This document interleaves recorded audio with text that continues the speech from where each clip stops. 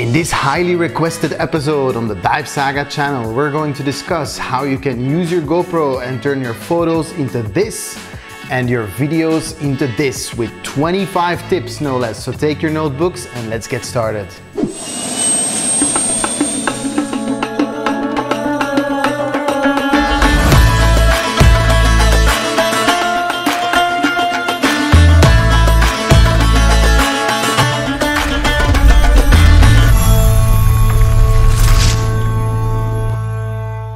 Brand new year, brand new tips and 25 tips. Now to make it easy for all of you, I've divided them into 12 photo tips and 12 video tips and then one overarching bonus tip at the very end that applies both to photo and to video. You might know some of these tips already, but hopefully between the 25 of them, there's some golden nuggets in there for you. There's been a lot of requests for this video, uh, mainly over on our Instagram page. Uh, you can often vote for these episodes or you can request episodes both in the comments and on the Instagram page. So go follow there and of course subscribe to the channel. Let's start with photo tip number one, and that's the settings, right? Super important because depending on uh, when you bought your GoPro, which GoPro you bought, uh, who has used the GoPro in the meantime, the settings tend to change all over the place. Now it's very important if you're going for photography to use the highest possible photography settings. That seems a bit like a no-brainer, but the amount of people who are shooting at the ridiculously low quality and then say, why can't I get my photos any good? Um, that's just mind-boggling. Now I'm gonna put a link below with my personal GoPro settings um, so you can just emulate those. There's another video, there's no need um, you know, doing that again in this exact same video. But it leans very closely to number two and that is do not shoot video and then take stills, right? The majority of people that I encounter uh, who can't get good enough quality photos is because what they do is they say, well, I'll just shoot 4K video and then whenever there's something I like, I'll take a still out of there. You can do that, but do not be surprised if those photos photos, right, aren't gonna be very good. Um, if you're shooting video, that's great. If you're shooting photo, that's great. There's a reason why you can't toggle so easily between photo and video on a GoPro, and that's because they of course have very different purposes. Even a 4K video is nowhere near the quality that you can get when you're trying to get a photo. So as a nice New Year's resolution, no more screenshots from your videos, okay? Tip number three should be obvious, but I am going to put it here just to reiterate for all of you. If you are taking photos, you need to be still. I know GoPro markets their, especially their newest cameras on the incredible low light capabilities. Um, and so that might lead you to think that it's, you know, you can kind of do whatever and the photos are gonna be super crisp. Being super still even with these newer generation GoPros is going to dramatically improve your image, right? Whenever you're moving, the GoPro really has to scramble to get a somewhat decent image that isn't too blurry. So you can help it a lot. You can help the hardware and the software in giving them an easier time to just capture a nice stable shot that actually looks good. And in terms of helping your GoPro, the GoPro is built with very specific characteristics in mind. Because it's sort of a wide angle lens, you might think that you can shoot anything from super close to super far. But in reality, GoPro is only really very good at a very specific distance from the subject. And that is somewhere between three and six feet, right? If you go closer than three feet to your subject, you're actually going to get a blurry picture. And that's because the focal length of that wide angle lens simply isn't suitable for very close-up photography. You can buy uh, little little lenses that you can put in front of your GoPro that will enable you to do macro photography. But unless you have those, stay at least three feet away I also wouldn't go much further than six or maybe 10 feet because you're going to lose your subject in the distance. And of course, I hear you think, but I can crop, but then you're gonna lose pixels, right? You're gonna lose resolution if you're trying to blow up part of the image. So if there's any way at all to get within three to six feet of your subject, you're gonna get the best shots with your GoPro. Tip number five on getting the best possible photos with your GoPro is uh, it's actually a general photography trick, but I find myself explaining it a lot to people, so it's worth putting here as well. But that is to shoot upwards. Whenever we're doing underwater photos, we're shooting underwater, we, we have this tendency to shoot down. And that's because our proper orientation in the water, proper buoyancy, is of course horizontal. And so that kind of means that your head is usually somewhat pointed downwards. And so I get it, it's very tempting to just shoot whatever is below you. But that makes that your subject and your background are kind of pancaked on top of each other and there's no depth.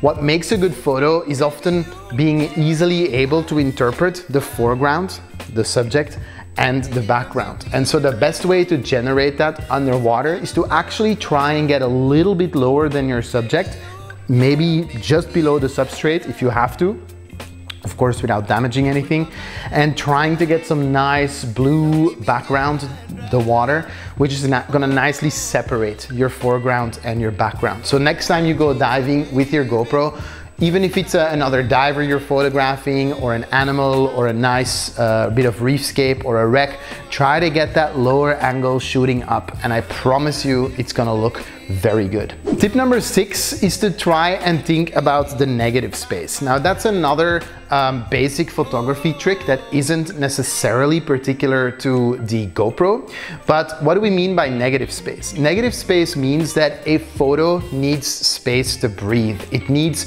elements of nothingness, elements of non-importance. So let's say that we're shooting a, a, diver and we're taking a picture of a diver, right?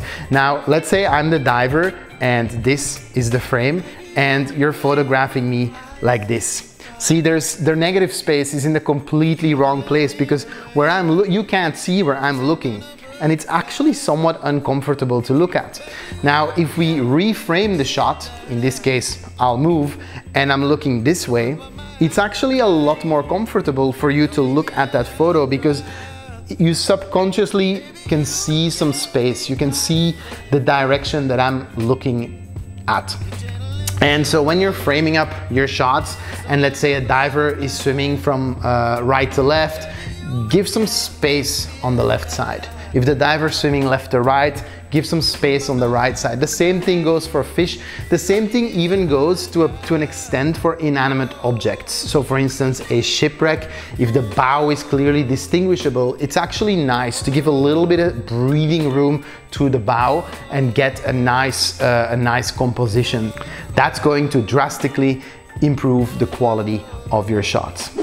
For tip number seven, so a lot of you actually try to take shots of other divers and, and that's great. There's nothing more rewarding than, than getting cool pictures of yourself while scuba diving. So often everybody wants to buddy up with the guy who, or the girl who takes good shots, right? So if all you have is a GoPro, you can absolutely still take great shots of other divers. But the key here is that you have to dare to ask them to model for you. I know not many divers really want to sacrifice a dive just for modeling, but the best sort of scuba diver shots, the best buddy photos, don't just happen by, you know, quickly pointing a camera and snapping a picture. A lot of those pictures are crafted, right? There's a lot of videos on this channel about underwater uh, diver portrait photography and I'll link those below. But essentially just dare to ask your buddies to model for you. Which brings me to the next tip. Tip number eight is to shoot on the inhale. And what do I mean by that? Well, of course, when we're breathing underwater, we're both inhaling and exhaling, but when we're exhaling, a lot of bubbles come out and they can actually obstruct the face. Bubbles also tend to move relatively fast and so depending on the, the shutter speed of your GoPro, which is automatic, um, it might just become blurry, right? And uh, you've all made them, you've all made those photos of your dive buddy and the bubbles look all blurry and it just looks kind of sloppy. So the best way to overcome this is actually shoot on the inhale.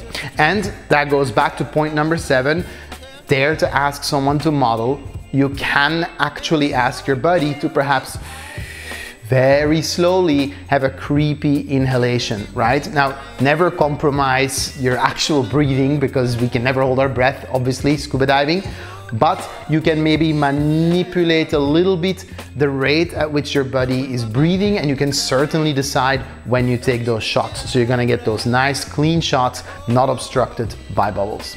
My ninth tip for GoPro underwater photography would be to decide whether you're going to shoot horizontal or vertical. And this actually uh, sort of taps in a little bit into our um, uh, social media usage of the photo, right? If you are, for instance, using these photos on Instagram, there's a really good chance that you're gonna wanna shoot your photos vertically, right? So holding your GoPro sideways.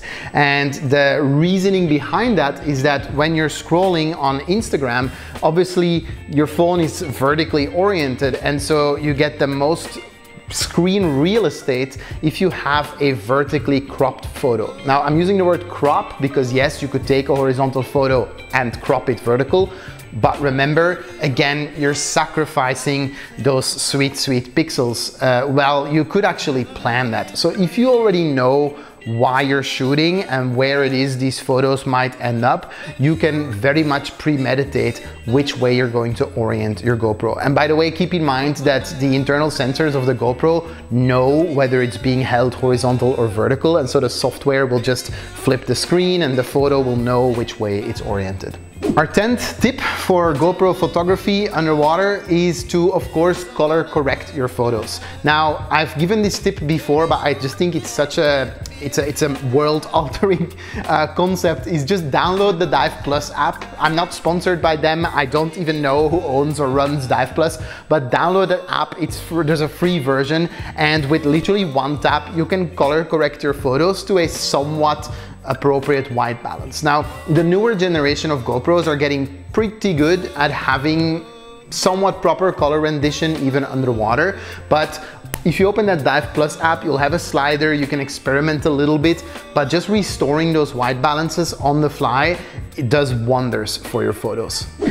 And then tip number 11, and this is a little bit more going meta on a larger scale, depending on where you're planning for these photos to end up. Let's say it's, you know, I've used Instagram a couple times as an example. Um, you might want to think about what your style is. See, I mentioned color correction or at least adjusting the white balance, but you're still gonna have to make some artistic choices, right? Are your photos slightly more green? Are they slightly more blue? Are they saturated or desaturated, right? Um, maybe they're black and white, maybe they're blue and white. There's a lot of different photographers out there who have a very distinct personal style. And so as you're color correcting these photos, and especially when they're, when they're living together on, let's say, a web page a profile somewhere, it's very nice to have a recognizable style. That's more than just slapping a little signature or a name on the bottom of the photo, is having a style that enables people to recognize that a photo is your photo. And that leads into our last photo tip for GoPros underwater, and that is actually create a portfolio. Have somewhere for your photos to live. Now I know you might be thinking, well, I mean, it's like they're on my phone, I know where they are. Um, and, and that's fine, right? But nobody is really intrigued by photographers who are scrolling on their phone. Oh, wait a minute, I'm, I'm sure the photo is somewhere here. I think it was on January 3rd, almost there. Nobody cares, right? Nobody wants to sit and wait for you to pull up that cool photo that you took a while ago. So having somewhere for your photos to live, and there's a ton of websites uh, and social media platforms that you can use, um, is a very good idea. Even if you're just sort of starting out, it'll be nice for you too in the future to go back, look at those particular dives, those particular trips, and for all those photos to live together. So do that now, because the longer you wait, the more you're gonna have to sort of go back in time and try to, you know, get scrape your old photos together. If you do it now, you're basically getting a head start and you in two years from now will be so grateful that you did that. This is a scuba diving YouTube channel, so a lot of our inner workings depend on the amount of subscribers that we do or don't have. So if you're enjoying this content so far, consider subscribing to the channel. You can even tap on the bell icon. That way you get a notification every time we post a new video. Now, let's continue with our 25 tips for using a GoPro underwater with number 13, or as I like to call it, number one, but for video. And that would be, once again, be considerate of your settings. Very specifically, I'd like to point out shooting in a linear um, lens setting. The GoPro is capable of going very, very wide angle, even super view, and it's super cool for certain effects. Maybe you're doing a giant stride and you're selfieing yourself, but in general, when you're just filming underwater, reefscapes, other divers, linear setting looks the most professional, if you will. That's because when you shoot in wide angle and especially in super view, if you look at the edges of your frame, they're very warped, right? And that's that wide angle effect doing its, uh, doing its job. So again, nothing wrong with that, but sort of um, for, for everyday shooting, try linear and tell me what you think. I think you'll find that it looks almost professional, so to speak. Tip number two for GoPro video underwater, and it still ties into the settings and it's maybe a bit contradictory to what you might be thinking, but I'm actually going to advocate for not shooting on your maximum settings, not shooting uh, your highest possible frame rate, your highest possible quality, 4K, 6K, 120 frames per second, 240 frames per second, because what's gonna end up happening is you're going to end up using a lot of storage space, especially for video, and you're going to potentially overheat your camera while doing that. So just consider where these videos are going to live and more about that later, but is the medium that you're going to be posting, storing, playing these videos on, is it even capable of playing back in 6K or 8K? Are you going to slow down the videos eight times? So is shooting at 240 frames per second really necessary, right? So maybe get in the water, play a little bit with the different resolutions and the different um, frame rates, and then consider what it is that you need and stop there. Your battery life is going to benefit hugely. Now, somewhat contradictory to the previous point is actually point number three, which is depending on what it is you're shooting, it might be worth bumping up the frame rate just a little bit. 30 frames per second is of course the bare minimum, but 60 or maybe even 120 can sometimes be useful. Why? Let's say you're in a sort of high uh, octane environment. Uh, maybe you're lucky enough to be in a sardine run or maybe there's some cool shark action going on. Shooting at, for instance, 120 frames per second is going to enable you to slow down your footage without losing any information. If you bring down 120 frames per second back to 30 frames per second, that means every second in real time is now worth four seconds of footage and it's still gonna be a butter smooth, non-jittery experience to watch. So that's a great way of making your shots, um, making them count, right? Making every second worth four seconds. So not a tool to always use, but again, is worth experimenting with your frame rates. Tip number four for shooting with a GoPro underwater is to plan out your movements. A lot of people, um, I call them lawnmower divers. I don't know, some people call them like machine gun divers, I think, where it's like the GoPro just goes like this, and they're just like mowing down everything and trying to get everything, and it's nauseating to watch. So if you see something that you think is worthwhile, something that needs to go in your video or that you want to capture, plan out that movement. If it's a diver, are you going to start at their fins and slowly move up and reveal their face? Or if you want to show how deep they are, are you going to start with a shot towards the surface and then slowly move down along the wall to reveal their face, right? What are you trying to, to show, to reveal? Which story or which sense of movement are you trying to convey? Maybe it's none. Sometimes it's really rewarding to just have a nice, stable shot, that just happens in front of you. It's actually gonna look really high quality. The thing that makes these amateur GoPro footages look so amateur is often that they're very, very, you know, jittery and they're moving around and there's a little bit left, a little bit right again, left again, and there's like no forethought and it makes it seem a bit um, erratic, right? So try to plan out your shots. Try to, as you're diving on the fly, plan out those movements. You gotta think on your feet. My fifth piece of advice for using GoPro underwater is actually a piece of equipment, but it's a very, very simple, very cheap piece of equipment. And it's these little moisture absorbing tabs, right? So you can buy these on, let's say Amazon, I'll, I'll put a link below. They cost literally nothing and you slide them into your GoPro housing. Just make sure they're not in front of the lens or the screen. And if there's any form of condensation, any form of moisture that enters the housing during the dive, they will take care of that. They'll absorb it. So um, it's just a little tiny trick, but I actually find that it saves me uh, a lot of dives. You know, it's, it's the worst when you're doing a super cool dive and the GoPro just starts sort of fogging over the, the, the, the lens. That's the worst. So these little moisture absorbing tabs are lifesavers. And staying in the equipment sphere with point number six would be to get a tray. So a little tray, you can find them again on Amazon or any other photography sites, very, very economical, but it allows you to stabilize your footage. I mentioned earlier that jittery shots are kind of a dead giveaway of an amateur videographer. And because GoPro is so small, and if you just hold the GoPro in your hand, you don't have a lot of mass to work with. So putting them on a tray and then moving your hands um, a couple feet apart actually allows you to have nice and stable shots. It's gonna help with shot planning and execution and it's actually also going to prevent you from moving erratically because you have those two arms locked. If you're still with us, now would be a good time to subscribe if you haven't already because at this point, if you're still here, I'm thinking that you're finding this pretty uh, valuable content. The seventh recommendation I would make is another gear recommendation. So on top of our moisture absorbers and our trays, I would also get a video light. A nice, simple, maybe let's say a 5000 lumens video light. It's not gonna break the bank not a uh, dive light because those tend to be spotlights. You need a video light with a wide even beam.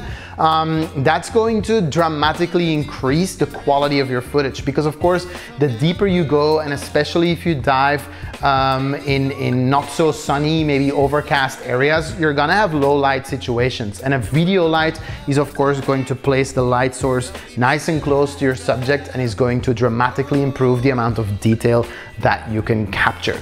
Point number eight for uh, shooting video on GoPro is a little bit of a cheat because I also gave it in the photo section, but it's worth mentioning again, do not shoot downwards. Again, video is so blah and boring when you just shoot downwards. And I know people say, yeah, but there was a little stingray or there was a little flounder, I couldn't really get underneath. I get it. And for some shots, maybe a top down shot, providing that you have a nice contrast between, let's say, the sand and the southern stingray. Um, besides those shots, really again try to get below your subjects try to shoot upwards a little bit and get that nice definition on your next dive go out try it i promise you tip number nine already for shooting video on gopro is shoot at people, not behind people. I know that often when we go diving, we're maybe following a dive guide or because we're into videography, we're a little bit behind the group. And so a lot of footage that comes back, especially from my students where they go, huh, huh, what do you think? And it's like divers from behind. It's fins and butts, right? And it's, I mean, yeah, like I guess those are nice fins or whatever, but it's nicer to see faces. We want to see faces. When we see scuba diving videos, we want to see scuba divers, right? So try to get a little bit ahead, try to get in front. It goes back to that modeling tip maybe also from our photography section. Try to get ahead of your subject and try to see them coming towards you. Try to see them enjoying the dive. If you wanna film another diver and incorporate that in your video, that's fair game. People like watching other people but make sure we can actually see the people. And that leads us straight into tip number 10, which is if you're going to incorporate other divers, dive buddies into your videos, make sure they look good. And what do I mean by that? Dangling gauges, dangling alternate air sources, horrible trim, uh, loose cylinder bands. Make sure your divers look good, right? It's gonna elevate the, uh, the perceived quality of your footage when the people, the divers in the footage are actually good divers, when they're diving properly. So if sometimes all it takes is to notice that your dive buddy's SPG is dangling and have them tuck it in, right? Sometimes, you know, let's say their trim is maybe slightly off, I tend to go even lower and shoot more upwards. So it kind of changes the, the, the, perception of the perspective. Um, but ideally manicure your dive buddies a little bit to look like competent divers. And maybe your dive buddies are already competent divers. That's also very possible.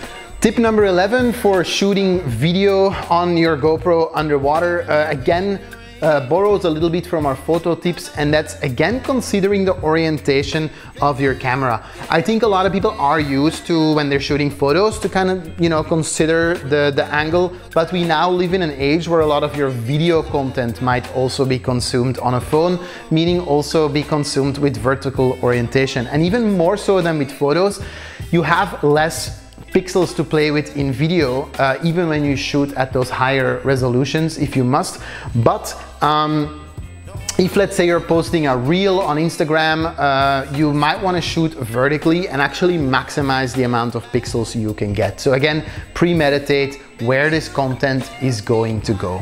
And that already brings us to tip number 12, the last tip in the video section for shooting GoPro underwater, and that is to edit your videos, right? Um, more so even than photos, you need to ask yourself where, where are all these video clips going to live, right? You cannot store endless video footage on your phones anyway, maybe on your laptops, I guess, or some external hard drives, but probably you're only going to have so much good footage afterwards. And so select that, go through that, stitch that together. There are very basic apps like Movie Maker um, or more advanced apps like uh, Final Cut Pro, Premiere, DaVinci Resolve. So whatever it is you like to use, uh, consider stitching your good stuff together so you have a coherent something to watch for, uh, for your audience. So then we're missing one more final tip and that's an overarching tip which uh, it really applies to both photo and video and that's to shoot, shoot, shoot. Often, and this is my number one sort of advice to students coming back with footage, they say, look what I got. And I say, oh, that's really nice. Let's, let's look at the ones before that and the ones after that. And they're very different photos you're going to have to learn to craft your shots. And by that I mean, if you want to take a portrait shot of a dive buddy, you're gonna have to take more than one, right? You're gonna need to take 10, maybe 15, maybe 20 minutes out of your dive and set that up and try to move around a little bit and find the angle that works best. And as we said, try to shoot between the breaths. If you have a, a, video shot that you're trying to put together with some motion, you're gonna have to do that a couple of times, rehearse that movement a couple of times, but shoot those rehearsals, right? Because they might be good. Um, but usually when, when I kind of look at my work and there's like 30, 40, 50 shots per photo, um, it's often one of the last ones that ends up, sometimes even the very last one that's like the winning shot. And, and I'm like, oh my God, if I would have stopped after half of these, I would have never gotten to that final excellent shot. So next time you go out scuba diving, you bring your GoPro, whether it's photo or video you're doing, try to spend time on each shot. Try to really build that shot, rehearse that shot and perfect that shot. And I promise you, every time the last uh, take, let's call it, is going to be the winning take. I guarantee it. So thank you guys for watching. That's our 25 tips for photo and video on GoPro underwater. If you haven't subscribed to the channel by now, I don't know what you're doing because we are putting out some pretty good content. If you're still here, I'm assuming you agree. Thank you so much for watching and I'll see you next time.